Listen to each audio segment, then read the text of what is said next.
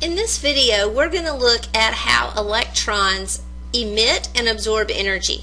Now this is a follow-up to your flame test lab. So we're going to start there and we're going to look at why elements produce the colors of light that you saw in that activity. Alright, here we go. Remember in the activity yesterday you saw for example that copper produces a green flame while lithium compounds produce that really bright pink reddish colored flame.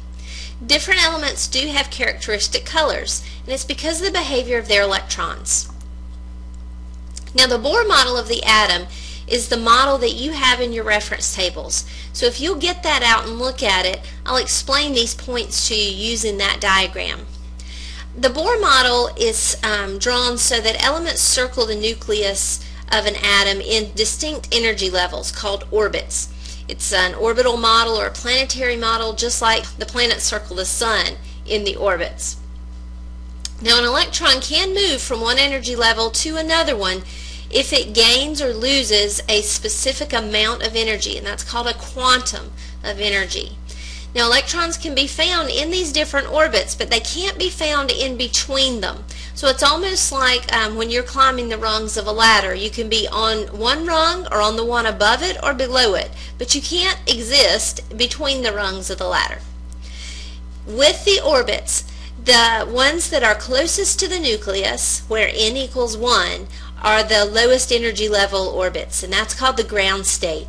The higher the number gets, the further the ring is from the nucleus, the higher energy state that electron would be. So how do these electrons produce these colors? Well, when electrons absorb energy, they take in the energy and they jump to a higher energy level. They absorb a quantum or a photon of energy. And that puts them, for example, from n equals 1 in the ground state to somewhere higher than that in the electron cloud. Well, when, and when electrons emit energy, they have to give off the energy to come back to those lower energy states. And you need to know that that's, a, that's how that process works. If an atom loses energy, it falls down to a lower energy state. If an electron gains energy, it moves to a higher energy state. Well, the energy that's given off corresponds to the visible light that we see in the spectrum. The amount of energy absorbed is the same as the amount of energy that it would later release, and that energy corresponds to the energy of light. And sometimes those energies correspond to visible colors.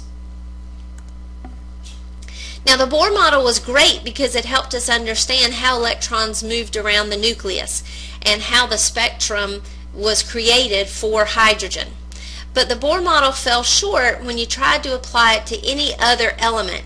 And scientists today can't predict spectrum um, based on the calculations and the equations that Bohr used for the hydrogen model. So here's that picture of the Bohr model from your reference table. Let's work a sample problem. On the left side here, it's asking you to look at an electron that's falling from n equals 6 to n equals 2. Now what you're going to do there is find the n equals 6 ring on the model and find the dark arrow that corresponds to the electron falling to n equals 2. Can you find it?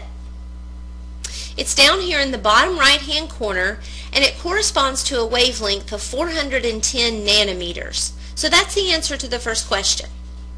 From n equals 6 to n equals 2 is a wavelength of 410 nanometers. Now the second question is what region of the spectrum would that light correspond to? Well, 410 nanometers, if you look on the very bottom of this picture, is the visible spectrum. So 410 nanometers would be part of the visible spectrum. Now let's take a look at that same 410 nanometer um, wavelength of light and figure out what color of light that would be. So in the electromagnetic spectrum, a very small piece of the spectrum is visible light. And if you look down at the very bottom, the wavelengths are given to you in meters. So a quick conversion to nanometers would mean red on the left-hand side would correspond to about 700 nanometers, and then violet on the right-hand side corresponds to about 400 nanometers. If our wavelength was 410 nanometers, it would definitely fall into the violet color range. Violet is between 400 and 420 nanometers according to this chart. Now we're going to practice some more of those in class. So hopefully you'll just start to get a feel for how to read the Bohr model and how to look at the electromagnetic spectrum. Now with wavelength and frequency, what you find is that the longer the wavelength, the less often a wave will happen. And that's what frequency is. Wavelength is measured in nanometers and frequency is measured in hertz. So we find that they are inversely related. The shorter the wavelength, the higher the frequency. The longer the wavelength, the lower the frequency. Take a look at this animation to help you. So here's a PhET simulation and if I set it to play you can see that this little yellow motor here on the left is producing some waves. Now the frequency of this particular wave is 50. What I want to do is ramp it up. Let's let the frequency go up to 80. Alright, as the frequency goes up to 80 I'm just going to pause it. You can see the distance between the crest of this first wave to the crest of this one is about 20 centimeters. So remember that if, the frequency in this simulation is 80 hertz, then the wavelength is 20 centimeters. Now I'm going to hit play again. This time I'm going to readjust. I'm going to take the frequency down to about 20. See how the wavelength has changed? It's become a really long wavelength. So I'm going to pause it again and you see that we don't even get a full wave on the page. From the crest of this first wave to the crest of the next one, it goes out the window. We can't even see it. It's probably somewhere around 75 or 80 centimeters long. So as the frequency goes down, the wavelength goes up. It gets bigger. Got it?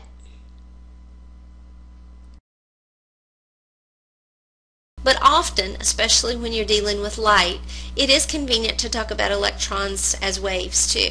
So we're going to um, think of them in both ways, especially for this unit. Thanks!